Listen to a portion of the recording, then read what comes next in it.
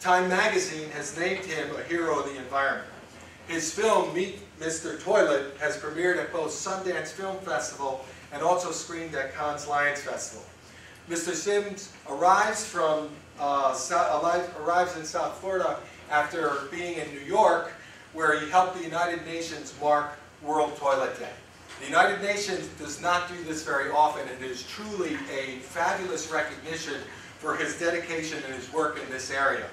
We're lucky to have him. There was a great write-up in the New York Times about this. Uh, we're very happy to have him speak with us today. He's going to talk about sustaining social enterprise, uh, something he knows quite a, bit, a deal about. Um, well, we can thank him and welcome him with a round of applause. He will come to the podium after the video. But please join me in welcoming John.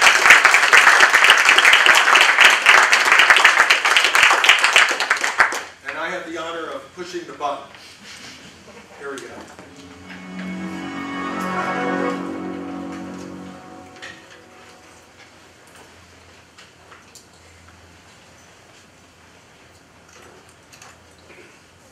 When we are children, our parents tell us not to talk about shit. This is a really serious problem. What you don't talk about, you cannot improve. A lot of people call me Mr. Toilet. I'm really proud when I hear that because it gives an identity to the work that I do. 40% of the world population still do not have access to a simple toilet. Shit is like fire. If you manage properly, the fire can cook your meal. If you don't manage it, it burns down your house. If you manage shit, it becomes a fertilizer. If you don't manage it, it kills you. About 90% of all the surface water in India are contaminated by feces. 1.5 million children under 5 per year in the world die unnecessarily. You have to have clean water, you have to have safe sanitation. A rich man staying next to a slum. The flies doesn't know a poor man from a rich man. So the rich man is probably eating the shit of the poor man. You better help them get toilets or you will eat their shit. Think about it. We are hosting the World Toilet Summit. This has been an international event every year since 2001. The people say, why should I use the toilet? It's fresh air outside. I can chit chat with my friend while I'm squatting there. A big breakthrough will happen when we look at the poor as if they are customers. When we have to sell them products that are very beautiful and sexy. Once this becomes object of desire, if you don't have, you're not keeping up with the Joneses. We want toilet to become a status symbol for the poor so that they feel proud to own a toilet just like a Louis Vuitton handbag. we are actually breaking the taboo on sanitation in the global news. World Toilet Day is 19 November every year. We have the Big Squat.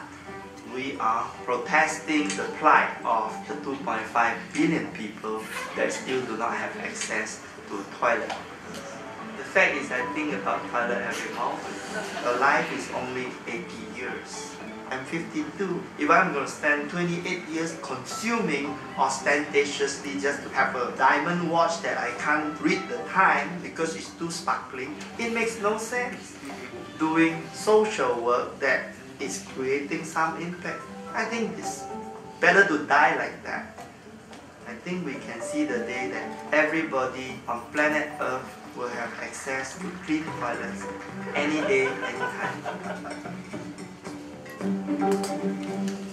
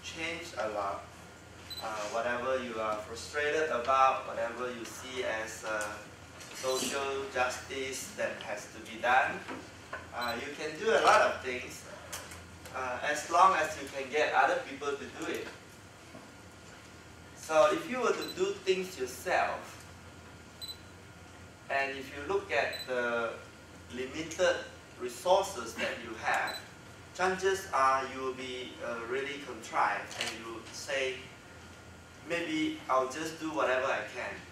But uh, don't stop there. If you start to think the whole world is just waiting to partner you, and they are all willing to give you their resources, sometimes their money, most of the time it's harder to get money, but it's definitely easier to get their voluntarism or whatever else they can do for you. So this is about how to get almost everything for free. And the first look of this title, it might be a little bit skeptical. Is that possible? So we'll see. I started the World Toilet Organization, um, calling it the WTO. So that sounds like the World Trade Organization. And the whole strategy was intentional. When we first started, we know that our subject is really quirky.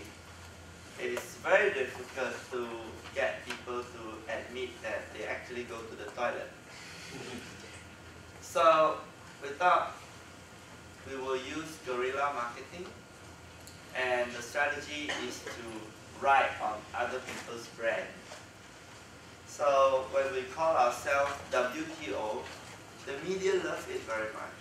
So two consequences can happen. One is we enjoy the media and the World Trade Organization don't notice us. Or they are busy. and the second consequence might be that they get really upset and they will sue us. So if they sue us, then that will be a big win. Because then it will be the news very, very loudly and they will win nothing and we will win everything. So when you design something, sometimes you can design it with no downside. You either win or you win very big. So how do you get other people to do things?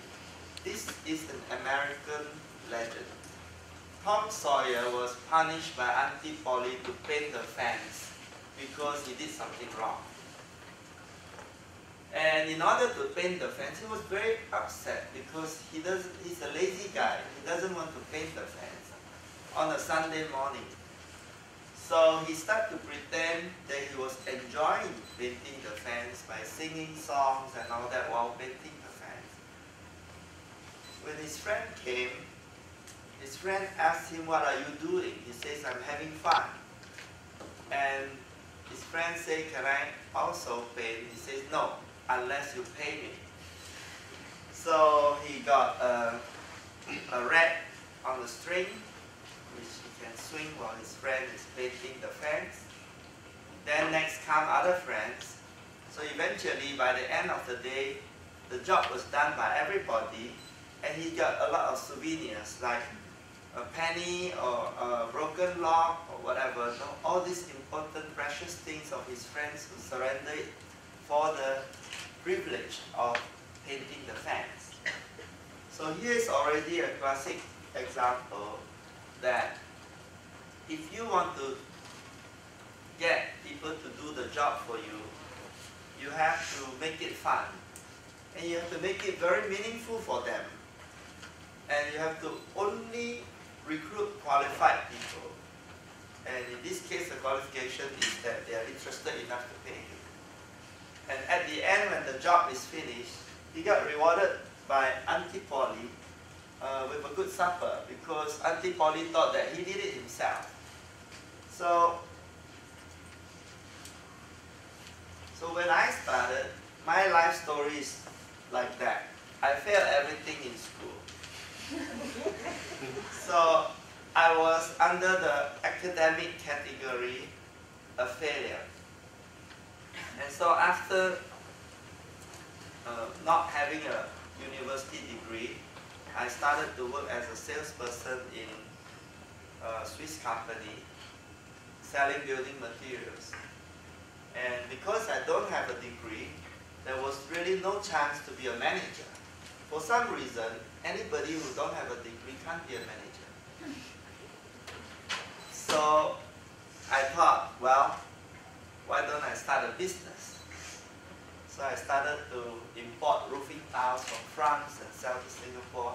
And I realized that actually it's very easy to do business, much easier than studying.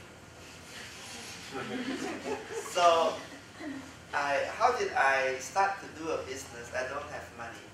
So I asked somebody to invest $100,000, out of which I will reserve 20000 but I will pay by deduction of my salary. But if we make money earlier, then we will share, and then I might be able to pay up even faster. So with $100,000, we did $4 million of business in the first year. And this was all through um, brokering, I mean, uh, factoring the contracts to the bank and getting them charge a higher interest rate.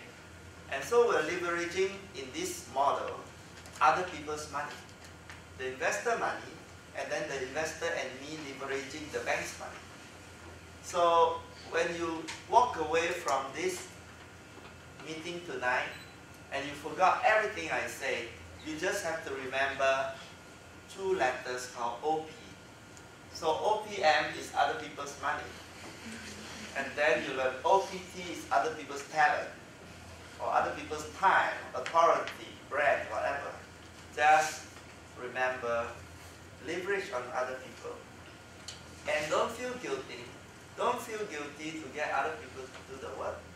Because while you are getting them, the qualified people are the people who likes to do what you are doing. Maybe they don't have time, maybe they only are good in certain part of it. So actually, while you are exploiting them, you are also letting them exploit you. So mutual exploitation is called collaboration.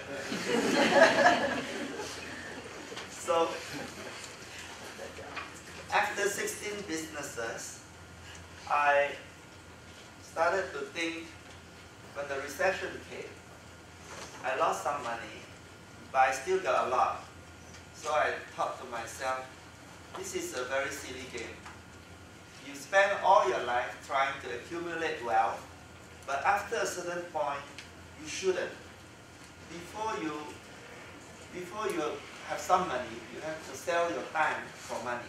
And time is the only thing you have in life. You do not have anything else in life except the number of days you are alive. Because once you are dead, you are dead. You can't do anything anymore when you are dead, right? Some people might believe that you can go to the clouds and play some harp. but I don't know. I think I'm just gone, right? So, what do you do? A life is about 80 years for the man. The woman is about 84. That's roughly a developed country like America would, uh, would have uh, with all the obesity, it's go shorter. So what do you want to do in these 80 years? 80 years is 29,200 days. Now if you go back after this lecture and do a countdown clock, it's very scary. Because right now you've already consumed certain number of days. You've, you've not got 29,200 days. You get 80 minus your current age adjust the birthday and multiply six, 365. Now, when I started, I was 40 years old. I switched to social sector. I have 14,600 days. Now I have only 8,400 days. they get shorter and shorter. So if there's anything I can promise you tonight, I just promise you that you're all going to die. and that becomes something that will motivate you for the rest of your life because you remember what you're trying to do. If you don't do that, then if you don't find the meaning in your life, then the consumerism culture will find for you. Consumerism culture in America is to tell you to buy the things you don't need with the money you don't have to impress the people you don't like. and that's no meaning of life. So what if life is so precious, then what is the best exchange? The best exchange cannot be money. Life is priceless. So the most valuable exchange I can find is love. And of course you have enough to love yourself, love your family, love your country, your community, and love the whole world. So whatever time you spend in exchange for love is definitely of a higher exchange value than with uh, money. So then you have a mission. Whatever is your mission, you may want to uh, solve uh, the nuclear crisis with North Korea, maybe that's your mission. Or you just want to uh, take very good photographs. Or you want to go diving uh, and, and record the underworld, uh, underwater world, or whatever. Anything that you think you can't stand it or you're curious about it, go do it. Because life is too short not to be meaningful. So if you have a mission that is useful for other people and you have the passion, then you have to create the legitimacy so that it's easy for other people to support you. In our case, the legitimacy is to create media visibility so that we could mobilize the masses towards the common goal. And after that, the support continues. So this will uh, will drive each other if you keep feeding it. I first started the Restroom Association of Singapore, which is like RA subject, you know, RA movie, restricted artistic, it's got a little bit of new pictures in it or whatever. So in our case, it's also about taking off your clothes, but in the toilet. so so the Restroom Association started when I read one day in the newspaper, our Prime Minister says, we should measure our graciousness against the cleanliness of our public toilet. So I thought he was trying to insult us. When the toilet cleaner is underpaid and not trained, and the design ergonomics of the toilet is so illogical that the water is here, the soap is there, and the hand dryer is behind you, and everybody is flicking their hand on the on the floor, and making it wet, and then the footsteps taking the dirt out and spreading over, and they are wiping the their hands on their pants, on their hair, on their face like moisturizer. So I say something is wrong with the design, with the training, of the cleaners with the pay and then with the behavior. So I started the Restroom Association and I went to the press to say I'm starting this and it went on the front page. And so everybody's re response was something like, somebody ought to have started this long ago, this is good. So that's the legitimacy. Eventually, I discovered that there are 15 toilet associations around the world without headquarter. So I offered them to have a headquarter and they say, if you do it for free, we'll join you. So you see, there's a mutual exploitation here. I want to form a world body when I'm alone, one-man show. And their associations are all quite established and large, big and small. But they say if I do it for free, they will join me. So I use their status and they use my uh, volunteer time. So in this case, we created the World Toilet Organization. The purpose of the World Toilet Organization is to be a service platform. Remember, if you want to move a lot of people, don't be a leader. Nobody likes a leader. They want to be leaders. And if you are a leader, you have to do all the work yourself. If you are a servant, you mobilize the leader. You stroke their ego. You make them work so hard that the mission happens. And you remember that driving a mission is about solving a problem, making life better for other people. It's not about you. So you better be a servant. Because a lot of time, your ego can come to become an obstacle to your mission. Especially if you're successful. Then you get famous. And then all this thing goes into your head. And fame can be very intoxicating, just like shit. If you don't manage it properly, it can destroy you. So money is the same. Sometimes woman. so you have to be always able to manage the situation. Otherwise the situation will manage you. So what happened here is we serve the global toilet community, which means everybody who's still alive. Whoever is dead, we're not really interested in them because they don't use the toilet, right? So one of the proof of a living person is that he used the toilet. You should be quite happy about going there.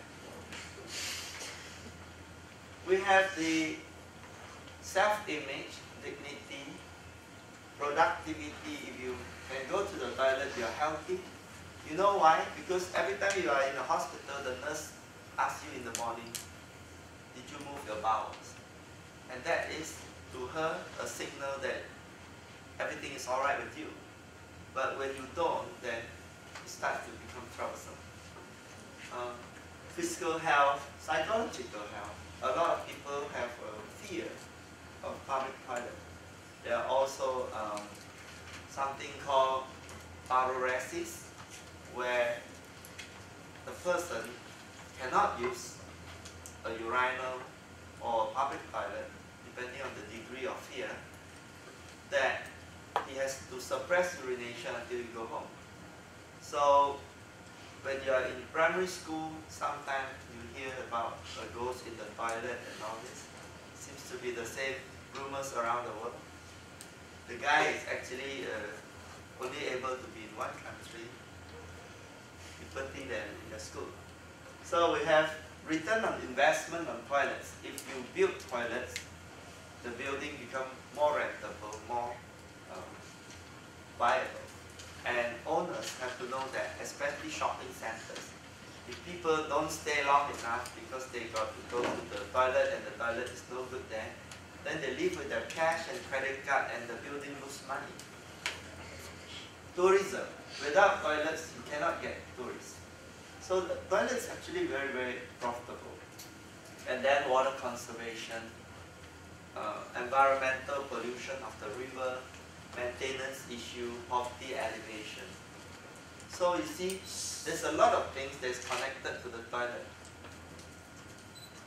In the university, there's no faculty that is unrelated to the toilet.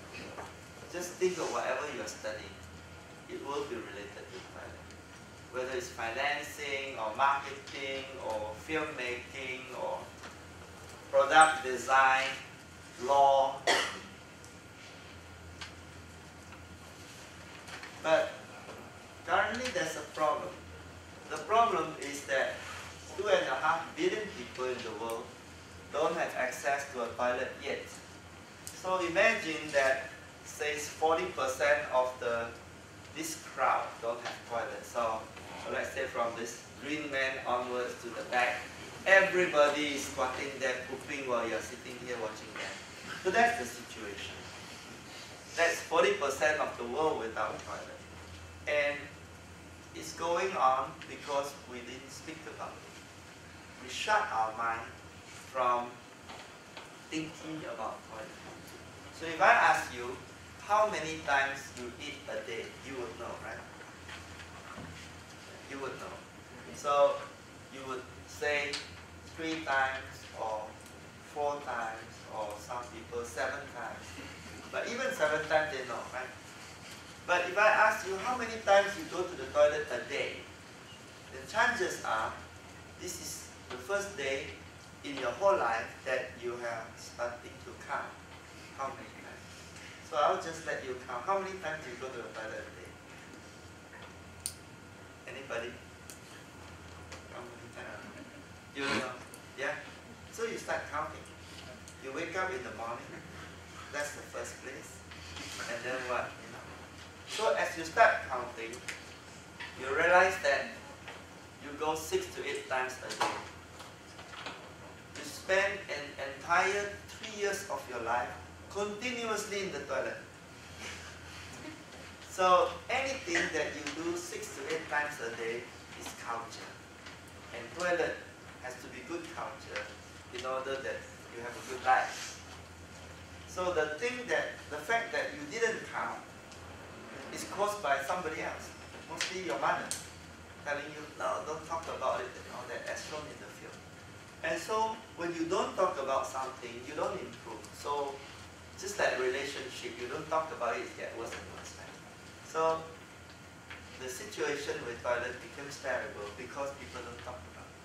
But when you look at two and a half billion people without toilet, and you think, how do I make this go away? The best way is to convert it into a business because there's one billion of toilet here.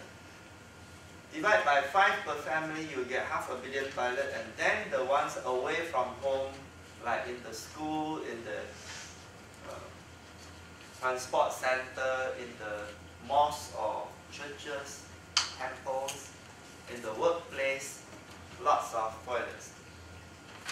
This is the situation, open defecation.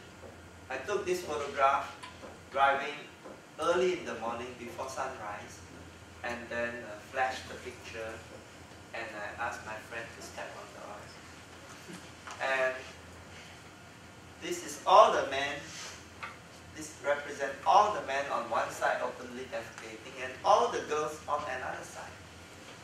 So why do they do it in the dark? Because of privacy. Ought to have toilets. After that, the flies comes to the poop and spread it all over. This is like a new version of the Microsoft spreadsheet model. so you get a lot of diarrhea going on. And a lot of children die every year. Here you have slums. There is uh, no, no space for toilet here. And so they go to the open space. Everybody like to live next to a river because they can shit into the river. But the river used to give them water to drink, wash their clothes, wash their crockery, wash their baby, wash themselves, and drink. But now they can't do that anymore. So it's really self-destructive. This is flying toilets. They take plastic bottle, like Coke bottle, cut it into half, put the plastic bag inside, they poop over it. So that they can tie it and throw. So this is about 8 inches of poop on the floor. And I'm driving in the taxi here and this is in the Nairobi slums. And the children are walking over there barefooted, they're playing, they touch the shit with their hands, they rub their eyes, they put it in their mouth, they die.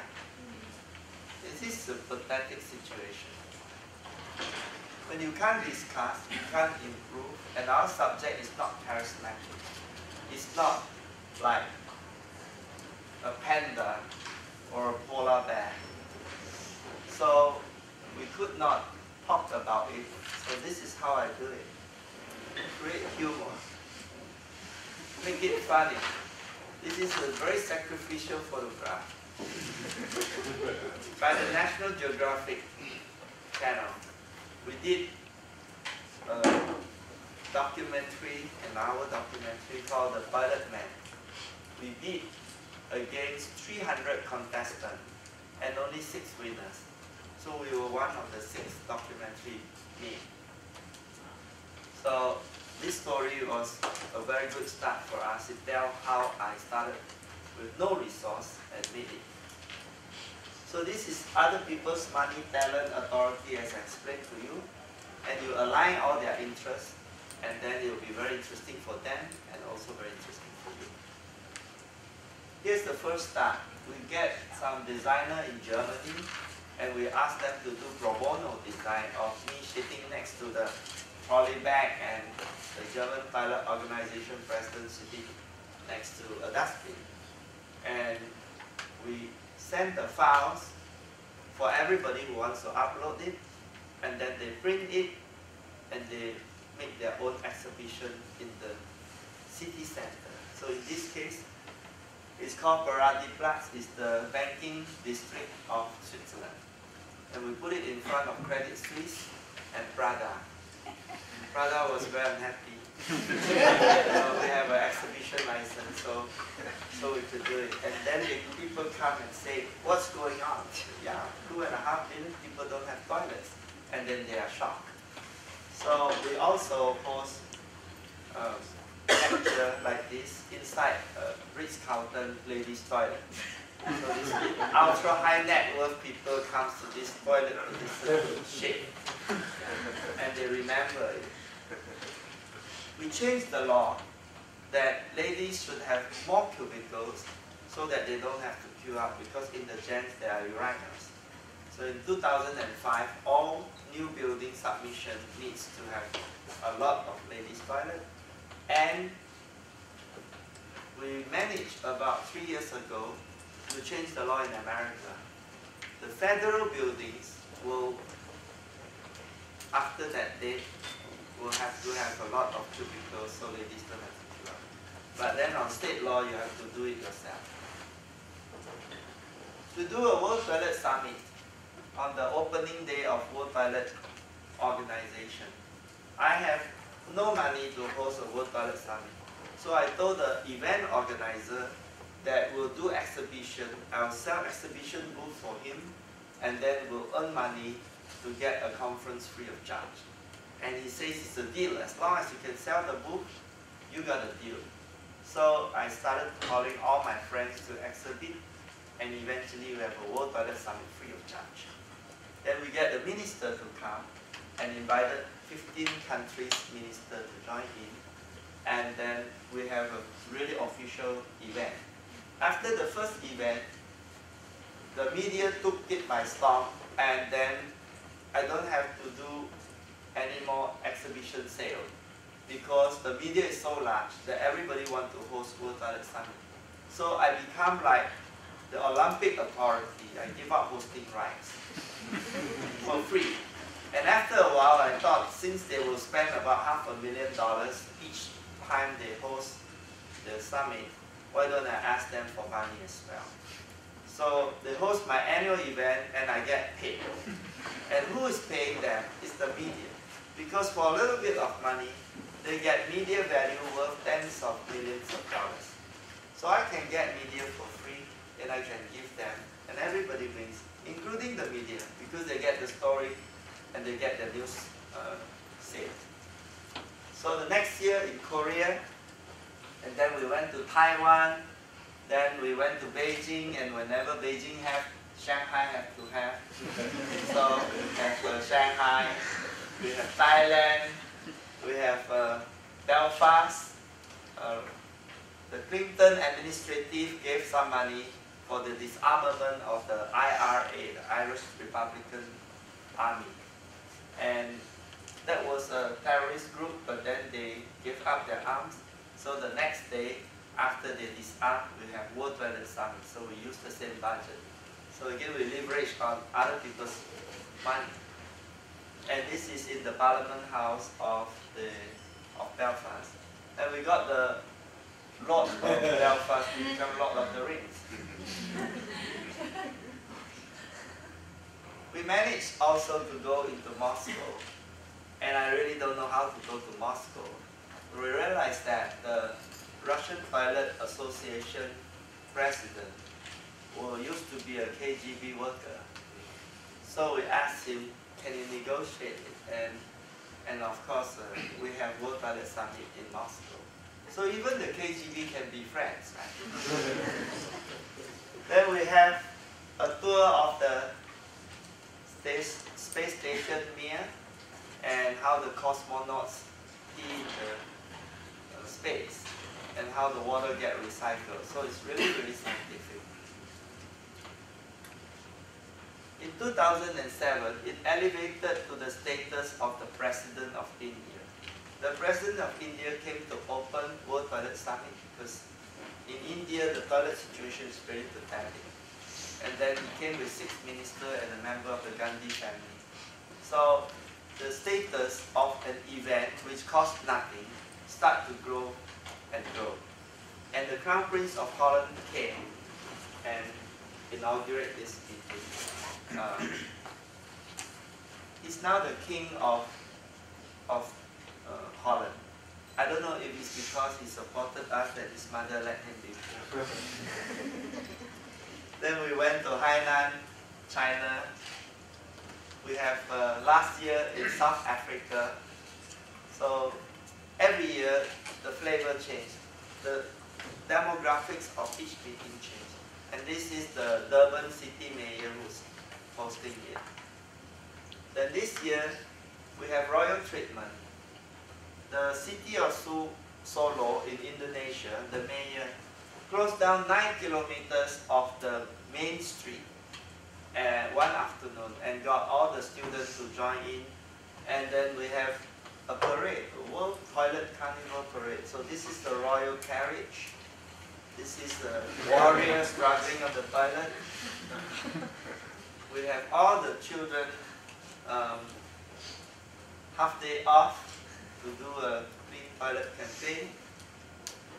We have also the army and the Mardi Gras thing. So there are other free things that you can get. You can get pro bono lawyers. Big law firm needs to do pro bono work. So you can ask them.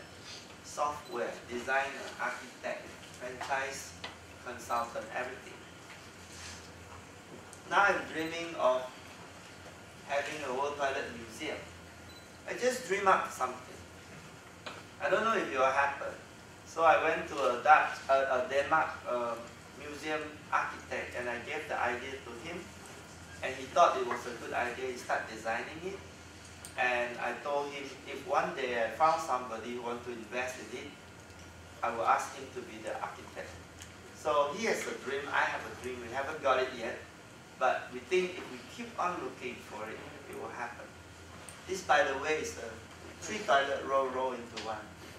So you have the, the track on culture, technology, and history of toilet. We also got branding consultant free of charge.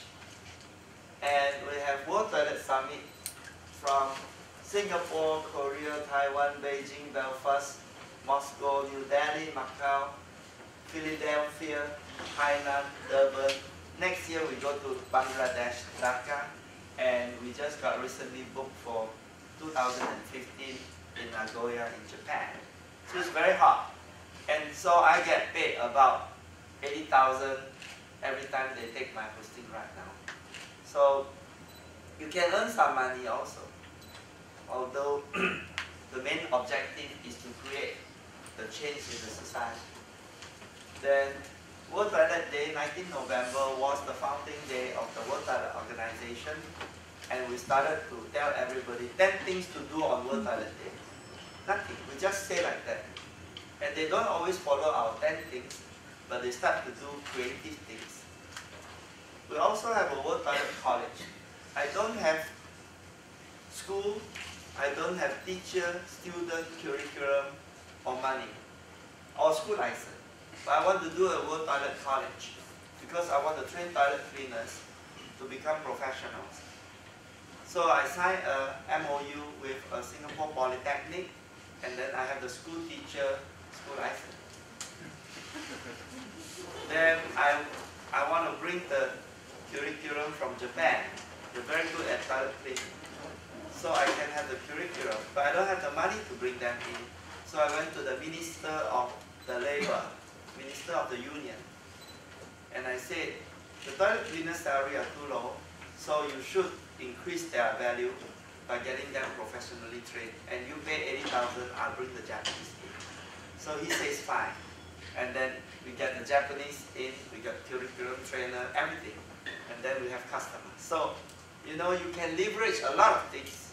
Just be audacious, just be fearless, and if you screw up, nothing. You're not going to jail. You're not going bankrupt. You're not doing anything. Just fail, okay. It's not a problem. And if you're not afraid to fail, then chances are you have a better chance to succeed. If it takes a little bit longer, so be it. We also started Sandy Shop. Sandy Shop is the last one here. We saw that the poor, you have not enough money to donate all the toilets they need. So we teach them to start little factory to produce toilet and to sell toilet to the poor. So these are technologies that already exist and we copy them from other people. We package a training program which we train them for free.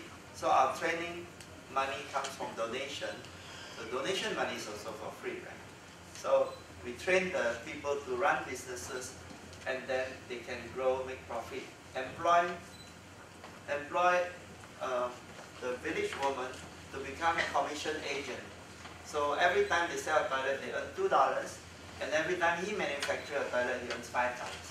So between them, there are jobs created, there are hygiene, health, and uh, people have privacy. So the market can run itself just by trade. How do they get money to invest to build the factory? The factory costs $1,000 to build. And if they want it a bigger size, maximum $2,000.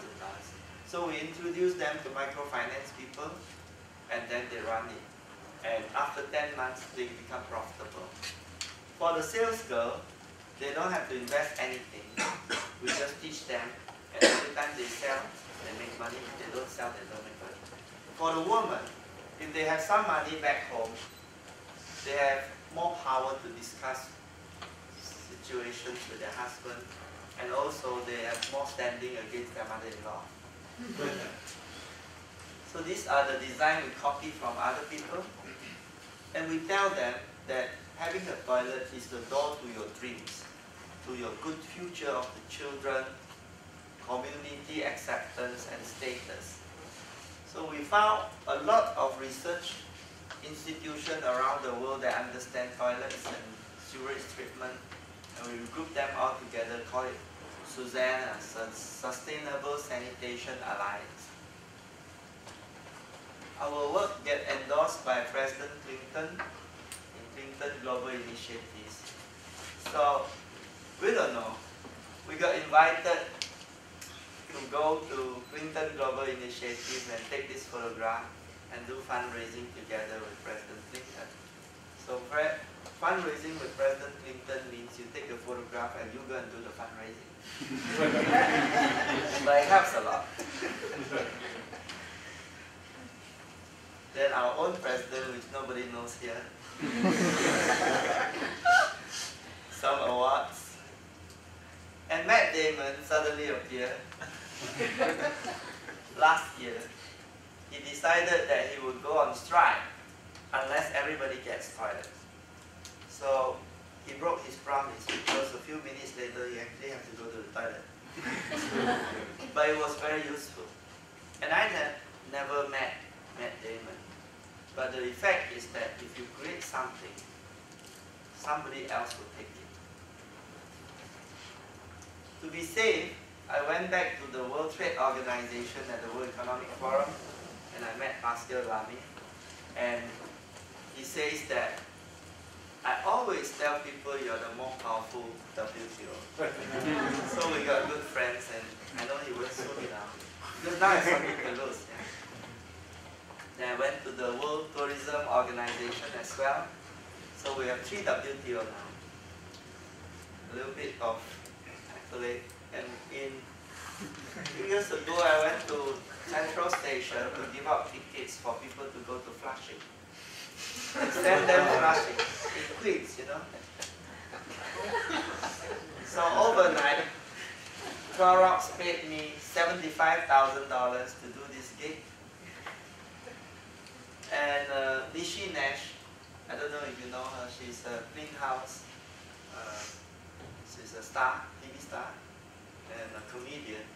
And two of us uh, get a lot of media.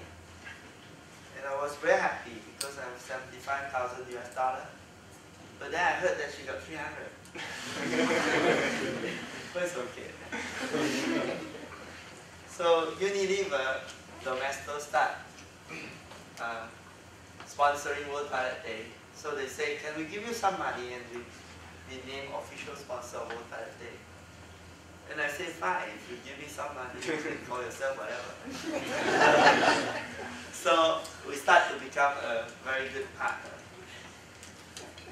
On 2010, the video, the, the movie Harry Potter and the Deathly Hallows opens worldwide in every cinema in the world on 19th of November. Of course, the movie maker didn't know about this, but it was uh, a good measurement of our popularity because Harry Potter ranked fourth position on Twitter and World Toilet World Toilet Day ranked fifth position. But our budget was zero. and their budget is probably a few hundred million dollars. And it was also very gratifying to know that Justin Bieber was ranked one notch below us.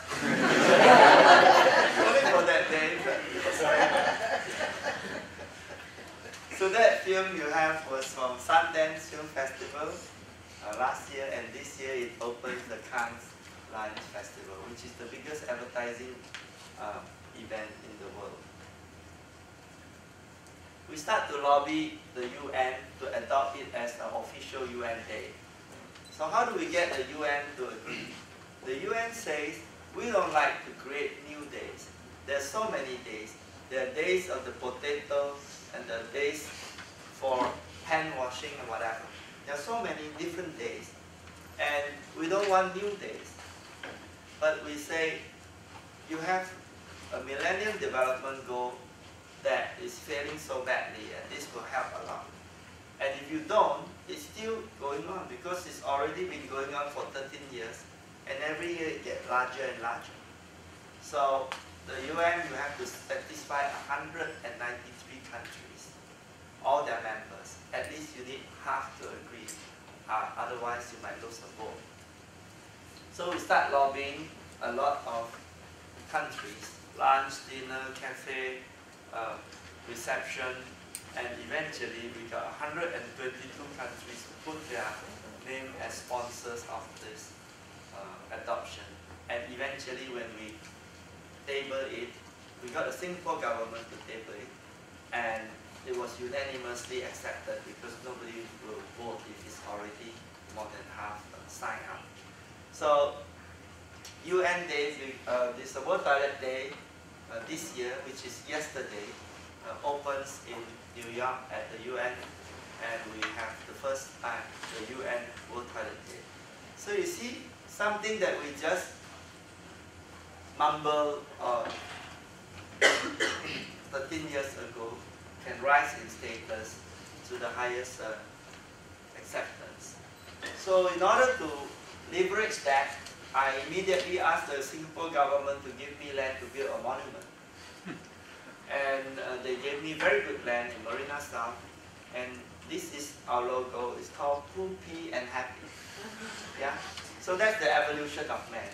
It's a very easy to understand uh, visual language and people uh, uh, can identify it no matter which country they are from. So I asked a donor to donate money for these sculptures, $30,000. And they say, uh, the, the way I teach to him is that the land costs more than $30,000. So you're actually getting a very good deal. And it was uh, very happy about it. I wanted to spread the message faster, so I thought writing a movie would be good. But I don't know how to write a movie. But then I'm an expert in things that I've never done before. so I went to Google. And the 16 step, how to make a movie. And the first step was to write a story concept and then get a script writer, then get producer, director, funding, distribution, casting, no, casting first, and then props and all that, editing, the distribution, promotion. So a lot of things. So I thought I'll just write the concept, and I sold the idea to a very famous director in Singapore, and he produced this film called Everybody's Business. So on the 5th of December, it will be every cinema in Singapore and Malaysia. So you see again, you can just do anything you want. As long as you can find somebody who will kind of partner you, and that somebody has to be very com competent and very able, and you don't have to. Yeah? So not satisfied with that, I wrote a Bollywood movie. So Bollywood movie is something of a different culture. And uh, this movie is about life without toilets. So how does a family live without toilet and all the kind of suffering they have in India. So I wrote uh, the story and I'm now getting some traction. I still need two and a half million dollars to make this movie, but I think one day I'll succeed. And how do I know how to write a Bollywood movie? It's not enough to Google. So I went to Little India in Singapore and bought 22 videos of Hindi film. and I watched them and I start to see a pattern why people enjoy this movie. It's always this big roller coaster emotional ride of, of being very bad and then very good and then very bad again and then good again and you know But after that you have uh, Bollywood songs and dance and uh, people who are able to change clothes every two seconds. so if you start to design this, then uh, it will. So I don't know how to play music, so I start to write poetry, and then get melody people to make it into songs, and then maybe make it into English or make it into Hindi. So a lot of things are just small steps. Yeah. So I wrote six songs now. So next thing, after World Toilet organization, I started to do a BOP hub. This is the next step, to do something really, really big, bigger than the World Toilet Organization. Because there are 4 billion people outside our formal economy who are earning very little money, usually $2 and below. And we should be able to solve this problem by turning poverty into a massive marketplace. So this is how they buy water. How you buy water is very simple. It's free of charge. Turn on the tap and drink the water. But they have to buy water. So when they are poor, they have to pay more. Everything the poor buy, they pay a poverty penalty. So we to turn it into business because in the first world, there's already a lot of saturation. More and more factories are coming up, less and less purchasing power in the America and. So it's a good time to turn their attention to the poverty marketplace. So our vision is to get government, foundation, social entrepreneurs, NGO, UN group, development bank, everybody to work together because right now they're all fragmented and it's very, very wasteful.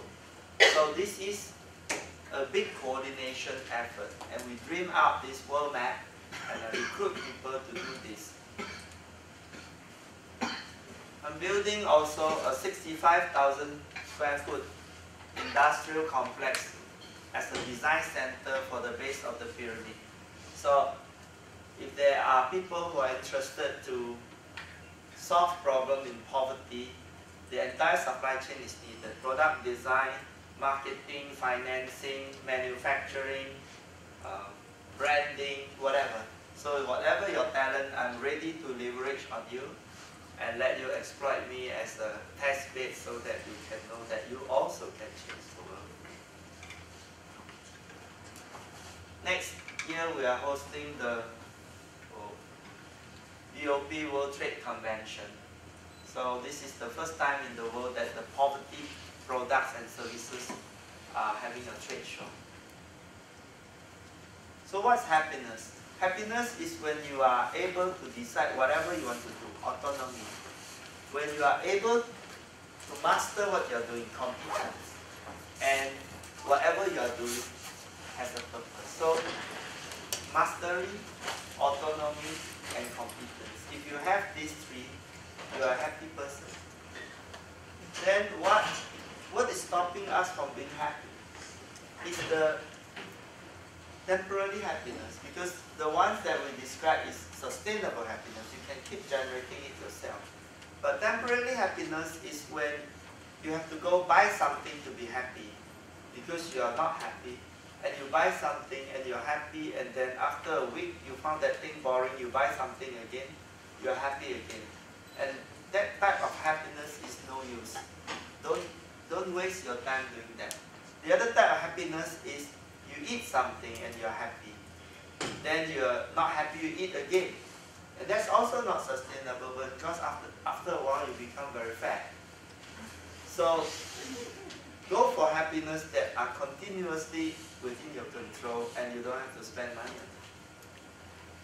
And how do I do so many things in, in 24 hours? In fact, while doing the, all this work, I was also studying a master degree for the first time in my life. I'm studying in a university in Singapore in, at night. So it's a Lee Kuan Yew School of Public Policy. And after four and a half years, uh, writing assignment on the plane and in the airport, uh, I come complete with a master degree and uh, I graduated for the first time in my life at 56.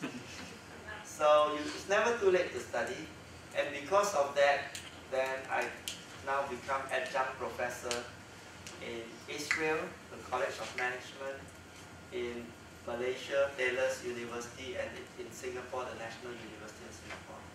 So from somebody who failed school all the time can become an adjunct professor, that's also quite nice. And how do you get a lot of hours a day? A lot of people are very tired because they are not doing the thing that they enjoy very much. So physical exhaustion does happen, but it happens much later. Mental exhaustion comes very early. So if you have eight hours a day at work, sometimes you have only two hours productive time. Because the thing you do is not what you want to do because somebody told you to do. No autonomy. If you want to have more energy, you have to have fun. Whatever you are doing, if it's fun, it will give you more energy. When you have more energy, you have more time and more things will happen. And then if you leverage other people to do, you can have lots of time. You can have 200 hours a day because other people are doing the job for you. So there's also another type of people who can produce negative time. They get you to do it again. They make mistakes, they create trouble, and you have to do again. So avoid those people and have fun and your life will be very, very beautiful. So after talking to you for so long, my life gets shorter, 8,400 days, and I uh, have to make full use of it. It gets more and more urgent, and so life is really short, and make your life uh, useful. Thank you very much.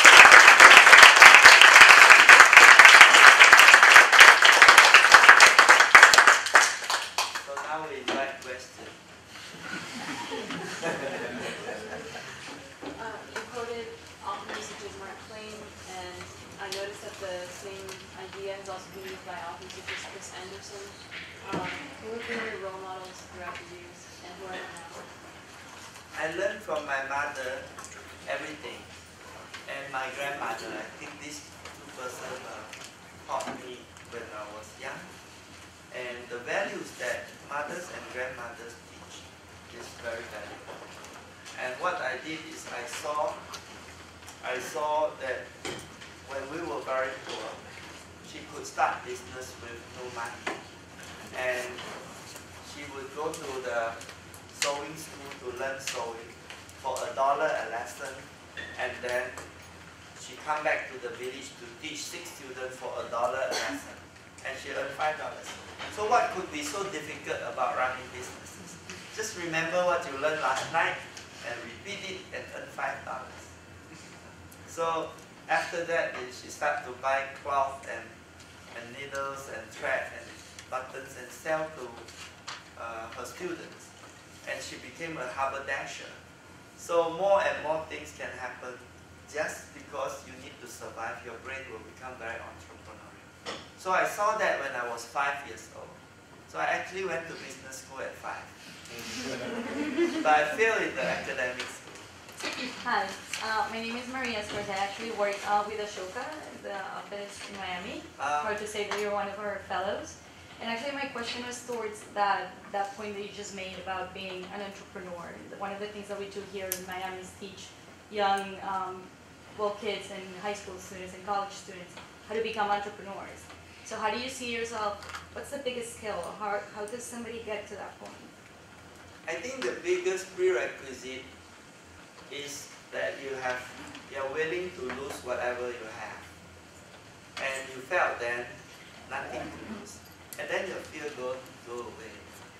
You don't need to be afraid to try because the other motivation is to know that you're going to die. So you don't actually own anything in this life. You only have an experiential journey and whatever you do has to be very enjoyable, meaningful, and useful, and especially if it's useful for others. So just imagine that between the time you come to this planet and the time you left, and nothing happened, then why did you bother to come?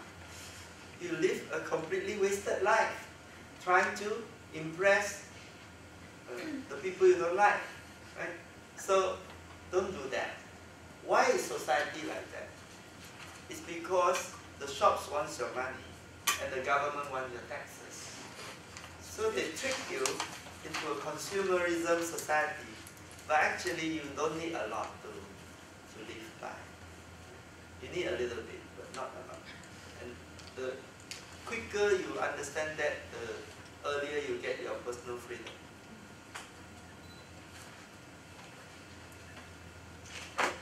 Most of the things we don't do is out of fear. We are afraid. Even buying branded goods out of fear. We're afraid that other people have more expensive goods than us. So a lot of things have its roots on fear. You become fearless, you actually don't need a lot of things as well.